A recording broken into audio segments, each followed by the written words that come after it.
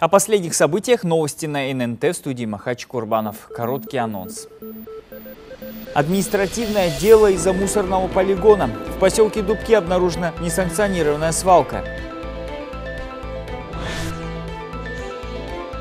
Около 400 детей обрели семью благодаря им. Форум опекунов и приемных родителей прошел в Дагестане. Еще одно золото. Кубок России по боевому самбо подошел к финалу. Об успехах наших спортсменов сегодня в выпуске. Россельхознадзор Дагестана возбудил административное дело в отношении главы поселка Дубки. Там была обнаружена несанкционированная свалка отходов производства и потребления на землях сельскохозяйственного назначения. Она образовалась на участке площадью порядка 5000 квадратных метров. Несмотря на то, что мусорный полигон огорожен бетонными плитами, животные имеют к нему доступ что может повлечь распространение разного рода инфекций. Площадь свалки постоянно увеличивается. Общая площадь захламленного земельного участка составляет полгектара. По данному факту возбуждено дело о административном правонарушении по статье 8 и 6 час 2 КоАПа Российской Федерации. Хороший урожай овощей можно получить и зимой, а все благодаря развитию тепличного бизнеса. Только в Дагестане за последние годы их площадь достигла 220 гектаров. Так недалеко от села Кафыркумух Буйнакского района уже около года функционирует теплица, соответствующая последним европейским стандартам. Как работает хозяйство, узнавала Карина Баталова. Три года назад на этом месте был пустырь. Сейчас же здесь расположен современный тепличный комплекс на 2 гектара. А начинала свой бизнес семья Танаевых с 10 соток земли. К 2017 году появилась возможность приобрести хоть и не новую, но отличную голландскую теплицу, которая практически полностью автоматизирована.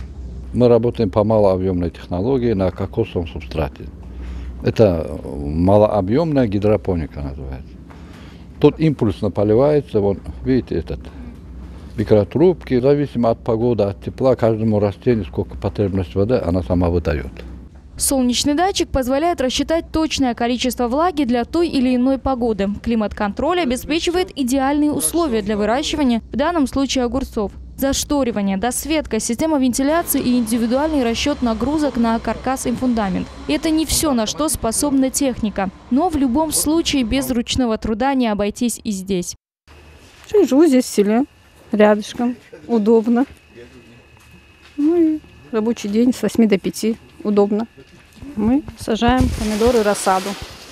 Это у нас э, пробка, минвата как бы. И сверху подсыпка, кокосовая стружка. Всего в хозяйстве трудится около 20 человек, плюс вся семья Тимирлана. Два сына, дочь, внуки и племянники. 17-летний Абдулгамид Танаев уже является оператором в тепличном комплексе. Для него это не просто помощь дедушке и отцу. Он получает образование в этой сфере и намерен в будущем расширять бизнес. Да, у меня уже третий курс, но еще один год остался, четыре курса. Будешь дальше куда-то Дальше можно заочно куда-нибудь высшее образование.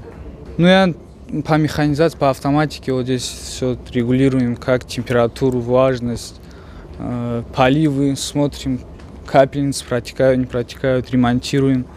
Сейчас теплицы выращивают огурцы. Они не приносят такой прибыли, как томаты, но помогают не уйти в минус и сделать перерыв между овощными культурами. Сбор урожая в самом разгаре. 30% этой продукции пойдет на местные рынки, остальное за пределы республики. Оптовая цена 140-150 рублей за килограмм.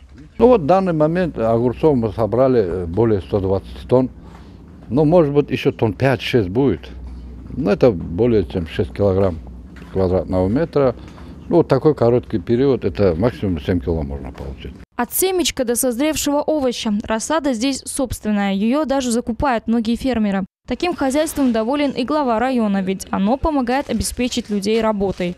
Это все рабочие места, это позволяет сделать так, чтобы наши люди не уезжали куда-то на север, в Сибирь и так далее, работали дома, комфортных, привычных для себя условиях, содержали свои семьи, поддерживали своих детей и так далее. То есть поэтому любое такое начинание, оно должно нами поддерживаться и поддерживаться, потому как опять-таки это несет такой, такой, несет такой мультипликативный важный эффект. Планах у агрария увеличение площади комплекса, а также выращивание клубники. А пока здесь готовятся к посадке помидоров. Урожай минимум 300 тонн. Карина Баталова, Салман Гетихмаев, телеканал ННТ, Буйнакский район. Сегодня на территории исторического парка «Россия. Моя история» развернулась мобильная станция переливания крови. Каждый желающий может принять участие в акции, приуроченной ко дню борьбы со СПИДом. Пункт сдачи крови доноры пришли к 9 утра. Алгоритм действий для пациентов не поменялся. Нужно заполнить анкету, затем проверяют давление и гемоглобин. За первый час кровь сдали уже более десятка человек. Пришли не только опытные доноры, но и те, кто решился на это первый раз. Раньше я еще молодость сдавал, я давно не сдавал, на этот раз я решился на это. Первый заместитель руководителя исторического парка, пример показать нашим ребятам, всем. Я первый же сдал, и первую шоколадку, и два дня отдыха получил.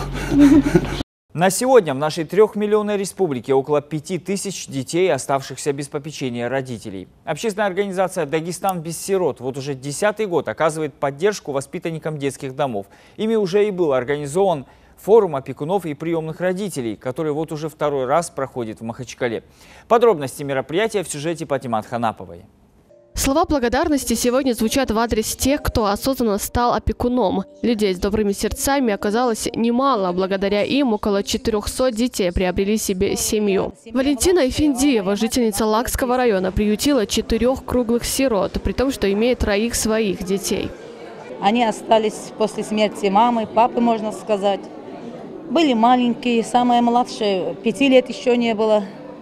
И когда старшие братья сказали, мол, детей распределим, там кого-то интернат, кого-то там кадетскую школу, там два пацана, две девочки было. А я сказала, нет, эти детей, я не хочу их там распределять, отделять друг от друга, и они будут вместе расти, более 130 сирот в республике находятся в детских домах. Самая большая мечта делится руководитель проекта «Дагестан без сирот», чтобы их количество сократилось до минимума, а пока они есть, оказать им максимальную помощь и поддержку привлечь внимание государства семьям, которые взяли на воспитание детей, э, и не только государственных структур, и общественности, и дать им возможность нашим опекунам, усыновителям э, побольше взять еще детей, которые у нас еще остались, и что дать понять, что есть э, такие же общественные организации, как мы тоже, которые готовы помочь Участие в форуме приняли более 100 человек из разных уголков республики. На встрече обсуждались самые актуальные вопросы опекунства и сиротства. Среди них защита личных и имущественных прав детей. Говорили о новых льготах и проблемах, с которыми сталкиваются опекуны.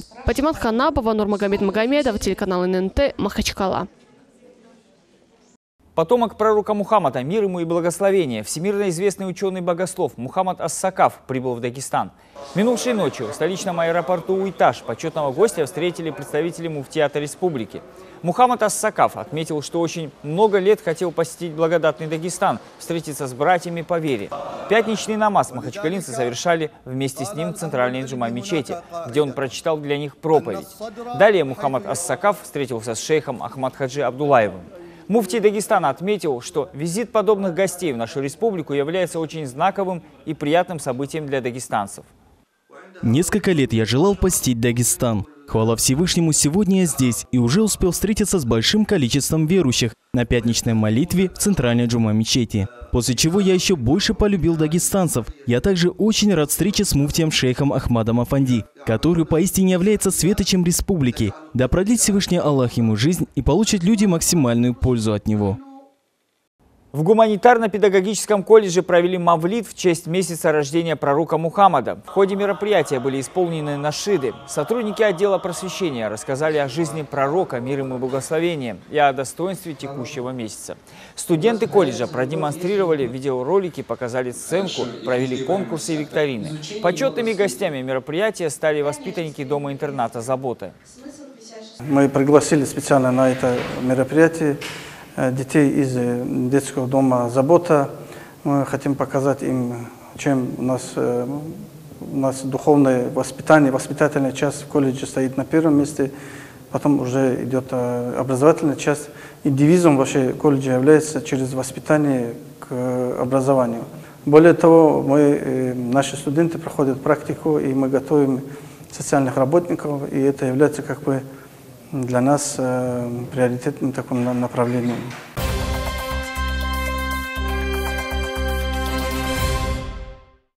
последний день Кубка России по боевому самбо, прошедшего в городе Кстово Нижегородской области, копилка медалей дагестанской команды пополнилась еще одним золотом.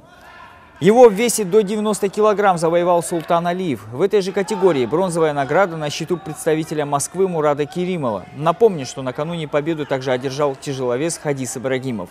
Серебро было у Курбана Тайгибова и Загида Гайдарова. Триумфаторы выступят на Кубке мира, который пройдет в начале следующего года.